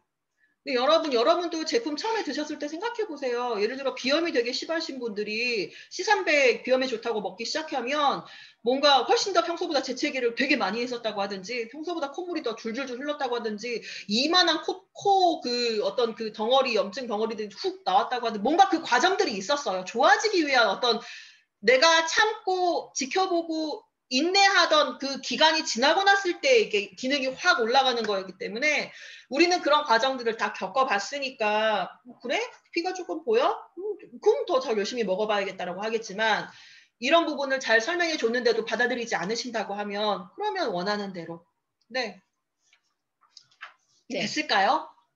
자, 그러면 음. 다음 질문 해볼게요. 그래 요것도 할 말 많다. 대장 내시경을 할 때 오메가 3를 섭취한 사람들은 장이 까맣게 변한다고 하는데 어떤 이유일까요? 이런 얘기 들어보셨나요? 일단 이 질문에서 저는 먼저 확인하고 싶은 게 오메가3를 섭취했던 사람들이 대장 내시경 할 때 대장이 까맣게 착색된다? 여기에 약간의 오류가 있진 않나. 왜냐하면 통설적으로 알로에를 많이 먹으면 대장이 착색이 된다더라 그런 얘기는 저도 들어봤지만 오메가를 먹어도 대장에 착색이 된다는 건 들어본 적이 없으니까 저희는 알로에에 맞춰서 얘기를 할게요. 네. 그런 얘기 들어보신 분. 어, 나 그거 들어봤어. 야, 알로에 많이 먹으면 대장이 약간 좀 거뭇거뭇하게 착색도 된다더라. 그런 얘기 어디 어, 몇 분이나 들어보셨나? 한 분, 두 분, 세 분, 네 분. 아, 이게 한국에서만 조금 있는 의견인가 봐. 그리고 젊은 분들은 잘 모르시네요. 근데 음. 저는 들어봤어요. 들어보고 맞아요. 한 50대, 40대 후반 50대 드시는 분들이 많이 어, 많이 물어보시는 것 중에 하나였어요. 맞아. 대장내시경 간호사, 뭐 우리 동네 약사 되게 많아요. 그래서 어, 우리 동네 약사가 알로에는 대장을 뭐 착색을 시키니까 6개월 이상은 먹지 말라 그랬어. 이런 분들도 되게 많고. 자, 거기에 대해서 오늘 싹 정리해 드릴게요. 자, 첫 번째. 알로에가 그럼 대장이 착색을 일으키느냐? 어, 생 알로에는 그럴 수도 있대요. 그럴 수도 있다. 아무것도 정제하지 않고 정말 우리가 집에서 키우거나 아니면 생으로 알로에 막, 막 갈아가지고 아니면 그거 막 믹서기에 갈아서 막 드시는 분들 있잖아요. 그렇게 장기 섭취했을 때는 그럴 수도 있다고 하는데 그런데 알로에도 알로에지만 논이 있죠, 논이. 생 논이 즙, 논이 주스, 논이가 그렇게 착색이 심하대요. 그래서 알로에 같은 경우에는 내가 어나 그냥 가정에서 식용으로 찾아가, 찾아다가 이렇게 도망 내 가지고 그거 아침에 뭐랑 같이 갈아서 먹어요. 뭐 위가 안 좋고 이런 이런 분들은 그럴 수도 있겠어요. 왜냐하면 여기서 또 한 번 얘기가 나오는 거예요. 아무리 좋은 성분이 있어도 그 성분만을 우리가 선택적으로 섭취하는 건 과학의 힘을 빌리지 않으면 불가능해요. 그러니까 알로에에서 우리가 추출하고 싶은 성분, 면역도 좋게 하고 피부도 좋게 하고 위와 장을 건강하게 하는 그런 성분들만 추출해 가지고 제품을 만들어서 먹어야 되는 건데 일반인들은 그걸 못 하잖아요. 그러니 그런 부분에는 그런 위험성을 감수하라고 하고 보통 건강기능식품으로 분류가 되어 있으려면 그리고 건강기능식품으로 라벨이 딱 붙어가지고 판매가 되려면 그런 부작용이 어, 보고되지 않아야 된대요. 한마디로 알로엔즈는 여러분이 6개월을 드시건 1년을 드시건 3년을 드시건 5년을 드시건 뭐 대장이 까맣게 착색될 수도 있지 않아요? 없다. 없다요, 없다, 없다. 혹시 주변에 그런 부분이 걱정이 된다. 야, 알로에는 많이 먹으면 안 돼. 그러니까 알로엔즈를 먹어야지. 우리 거는 그런 게 없거든. 라고 얘기하시면 돼요. 오케이? 오케이. 안전하다. 그건 본사 직원이 자신있게 얘기했어요. 네, 그런 거 없습니다. 안전합니다. 걱정하지 말고 드십시오. 아, 네, 감사합니다. 너무 명쾌한 답이었죠, 여러분? 자, 다음 질문 할게요. 이거 좀 어, 구체적인 건데 텔레마케터이신 분이래요. 너무 속상하게 엉 응? 너무 힘든 일을 많이 겪었을까요? 한쪽 고막이 터졌다고 하는데 어떤 제품 그 추가요? 전화로 소리 지른 거 아니야? 블랙 컨슈머? 그런 거 아닌가요? 가슴이 아프네요. 자, 고막이 터졌대요, 여러분. 어떻게 제품을 추천하면 좋을까요? 근데 이거는 이제 굳이 이걸 읽은 건 어, 어떻게 보면 외상이잖아요. 고막이 터졌다는 건 외부에서 충격이 왔을 수도 있고 아니면 어떤 소리 때문에 충격이 있을 수도 있고 자 이제 외상 부분에서도 USANA 제품을 가지고서 컨트롤 할 수 있느냐 어, 컨트롤 할 수 있어요. 뭐 하실래요? 그럼 어떻게 하실래요? 아, 저는 사실은 1번은 리셋이고 근데 또 꾸준히 먹 꾸준히 먹는 게 중요한데 꾸준히 먹는 데서 저는 항산화 항산화 제품을 강력 추천하고 싶습니다. 네. 저도 어, 단품으로 제품을 넣는 넣는다고 하면 글쎄 오메가 음. 헬스팩 정도 뭔가 순환을 도와주고 순환하면서 영양 그 산소 영양 공급을 해줄 수 있는 그런 제품들을 하는데 무엇보다 첫 번째는 차라리 정말 리셋이에요, 여러분. 모든 모든 제품의 첫 단추, 모든 건강의 첫 단추는 리셋이에요. 리셋을 해보셔야 돼요. 그러니까 나는 살 뺄 게 없어. 나는 뭐 건강한 것 같아 해도 리셋을 해본 자와 해보지 않은 자의 차이는 엄청나요. 음. 해본 자만이 느낄 수 있는 그들의 그 레벨의 세계가 있다니까요. 그래서 내가 내가 USANA를 좀 제대로 먹어보고 싶어라고 하면 리셋으로 시작하셔야 되고요. 내가 USANA 사업을 제대로 해보고 싶어 리셋으로 시작하셔야 돼요. 무조건 리셋이다. 진짜 어떤 질병, 어떤 증상이건 시작은 첫 단추는 리셋이다. 음, 네, 알겠습니다. 반드시 해보겠습니다. 하셨잖아요. 여러 번 했죠. 여러 번 해서 저 알러지가 없어졌어요. 저 예전에 알러지 때문에 얼굴 봐줄 수가 없었거든요. 저 기억나요. 저 처음에 신규 사업자 때 우리 서로 막 서로 신규 때 아 김양리더님 어렸을 때부터 아토피 있었구나 싶을 만큼 양 눈의 쌍꺼풀이 짝짝이었어요. 그리고 피부가 그 아토피를 갖고 있는 사람들의 특유의 그런 피부가 있어요. 거칠거칠하고 약간 음. 착색되어 있는 좀 용됐지. 많이 용됐지. 네, 지금 이제 그런 거 없잖아요. 네. 갈수록 어려진다니까요. 네, 해독도 여러 번 하시고 유사한 제품 꾸준히 드십시오. 네. 자, 다음 질문 넘어갈게요. 어, 저희에 대한 질문이에요. 우리 두 분 중 두 분이 가장 좋아하는 제품은 무엇일까요? 그리고 그 이유는요? 이것도 겹칠 것 같은데 일단 유련님 뭘 좋아 제일 좋아하시죠? 아마 그거일 것 같네요. 어, 그쵸. 하나, 둘, 셋. 헬스팩. 헬스팩. 네. 제일 기본이에요. 제일 기본이고, 어, 아니, 아무리 훌륭한 기술과 엄청난 저기 기술력으로 멋지게 건물을 짓고 집을 짓는다고 한들 그 집을 세울 수 있는 벽돌이 짱짱하지 않으면 사상 누각이에요.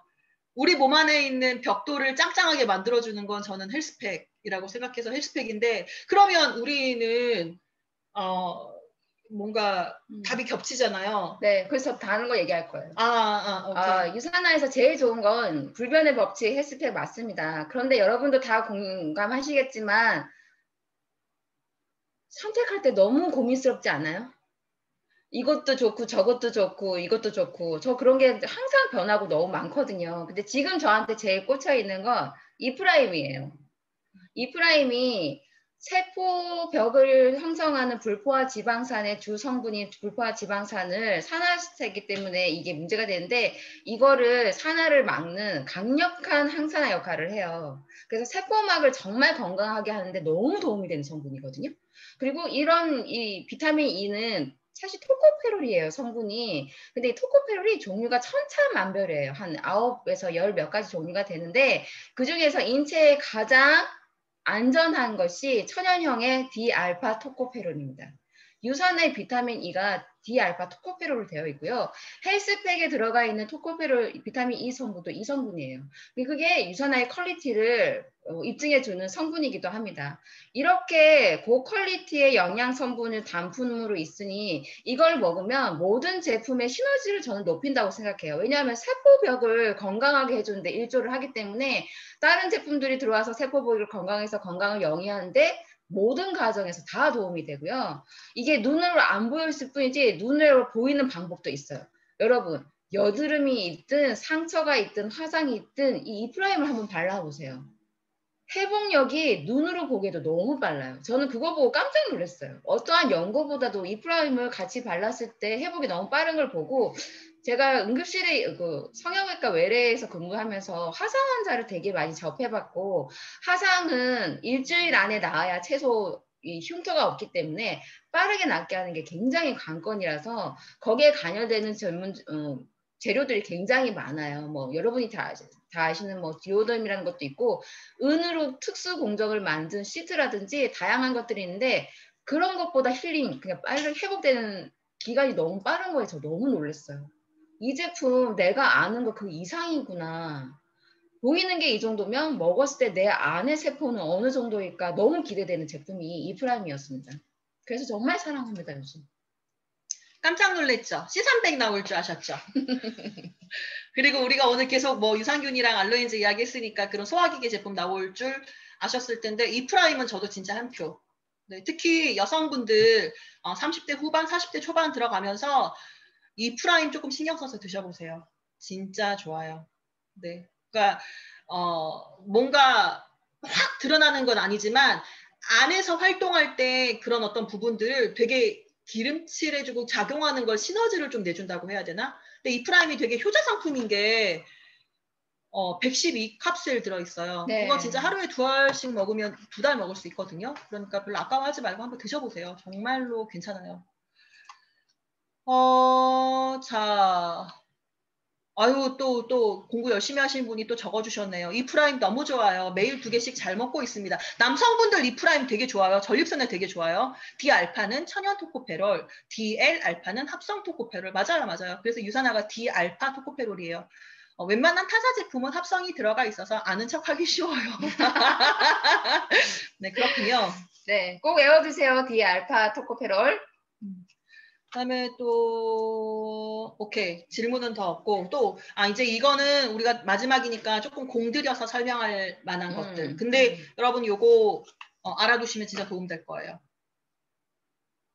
이 질문은 어, 자 이거 들어보셨어요? RDA, ODI, TDI 이런 권장량이 각각 있다고 했다. 이런 것들이 뭔지 구분해서 좀 설명해 줄래? 자, 근데 여기에서 RDA가 뭐야? ODI가 뭐야? TDI 이렇게 처음 들어봤다 하시는 분들을 위해서 조금 이제 쉽게 풀어 드릴게요. 자, 제가 나와 주세요. 그냥 빨리 해 주세요. 쉽게 얘기해야 되니까 간단하게 얘기할게요. RDA는 건장 섭취량입니다. 이 건장 섭취량이라는 것은 생명을 유지하는데 꼭 필요한 양. 결핍만 안 일어나는 최소량을 건장 섭취량이라고 하고 이 이런 기준 양들이 기준이 다양하게 나온 것은 그만큼 영양제에 대한 인식이 많이 개선되고 수준이 높아졌다는 거죠. 예전에는 건장량 기준으로만 우리 다 생각했잖아요. 근데 건장량 기준은 아주 원시적이고도 원시적인 기준일 뿐이더라. 그 이상의 기준이 필요하더라 해서 나온 게 어, ODI가 있습니다. ODI는 최적 섭취량이에요. 여러분 영양제 왜 드세요? 건강하려고 드시죠.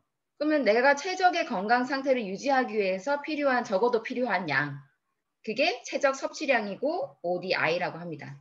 그러면 TDI는 뭘까요? TDI는 이제 영양제가 의견이 너무 분분하다긴 하지만 너무 많은 그 공공연하게 나와 있는 진실도 또한 영양제 성분 가량으로 메가로 이렇게 메가도스법으로 섭취를 했을 때 도움이 되더라 하는 임상 결과지도 나와 있잖아요. 그런 것처럼 어떤 영양 성분을 먹었을 때 치료가 되는 양이더라. 치료 섭취량인 거예요. 예를 들면 여러분 비타민 C를 예로 들게요. 건장 섭취량으로 하루에 90mg 정도로 말을 해요. 그런데 이거는 최소량의 권장 섭취량이에요.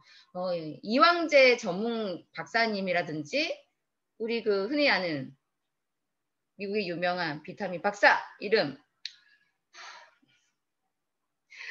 아 있었는데. 닥터조, 닥터조. 박사.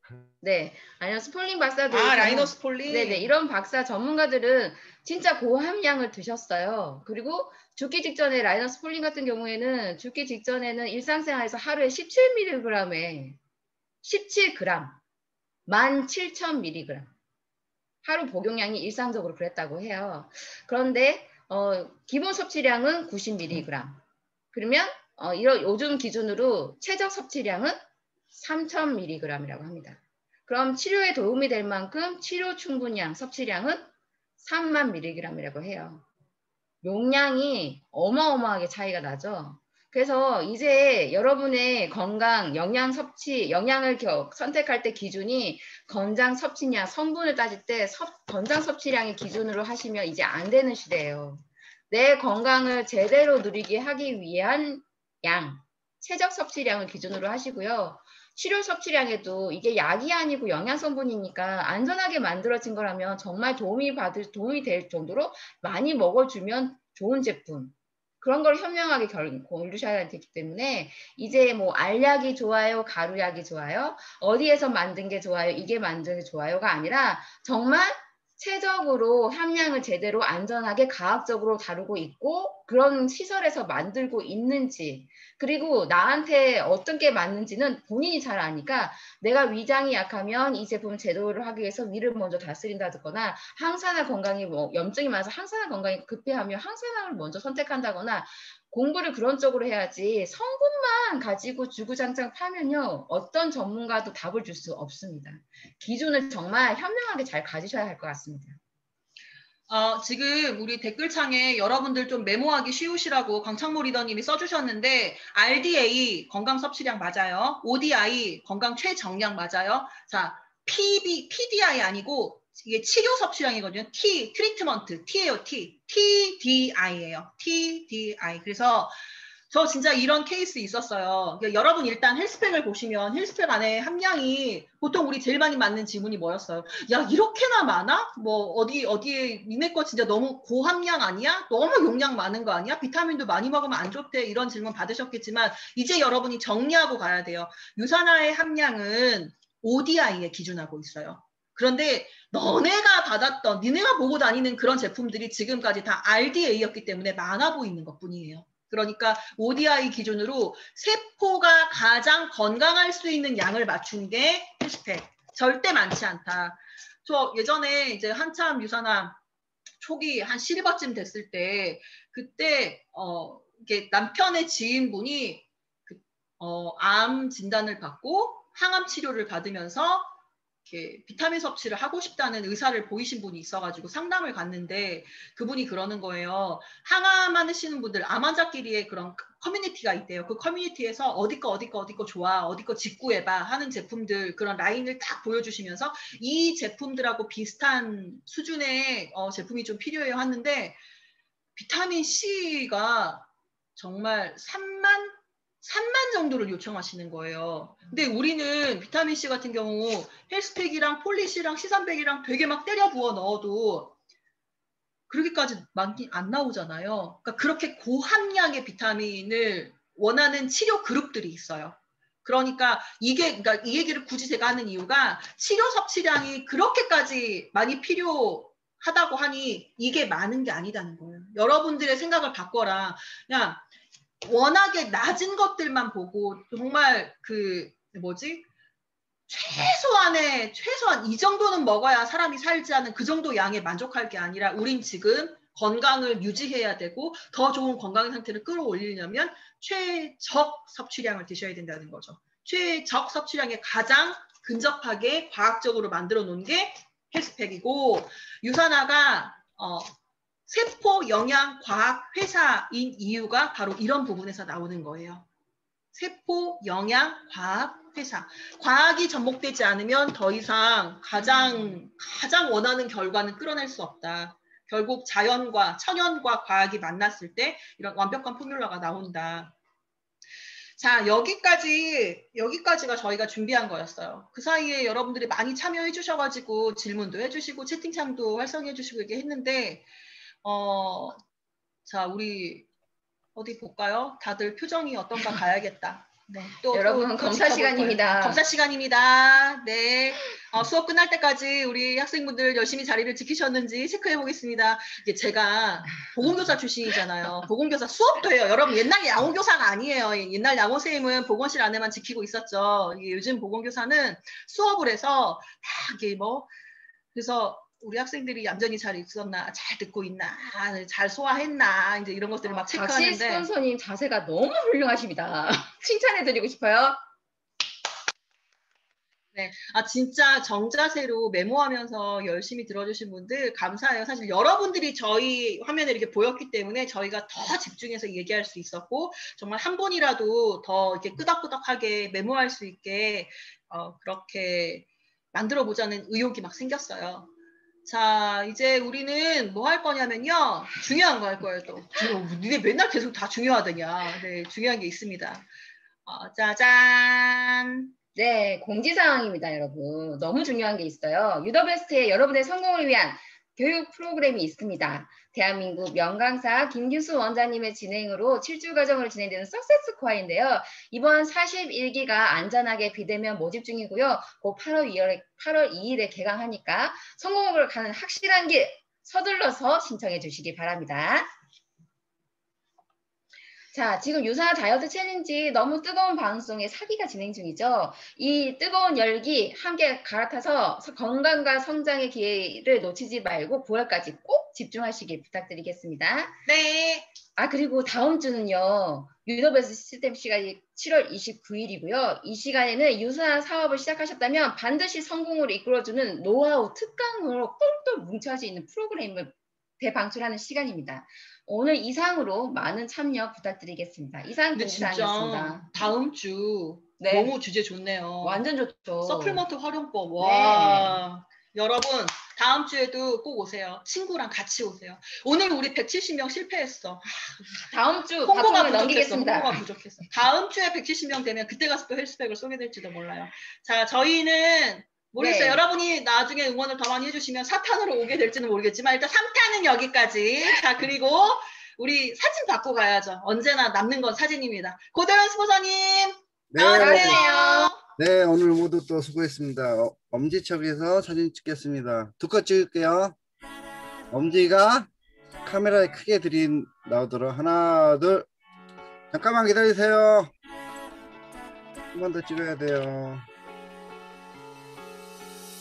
하나, 둘, 셋. 오케이, 음소거 해제하시고. 두 분 너무 멋졌어요. 어, 수고 많으셨어요. 수고하셨습니다. 수고하셨습니다. 수고하셨습니다. 이렇게. 하시고 아, 쏙쏙쏙 너무 잘 쓸게요. 완전 잘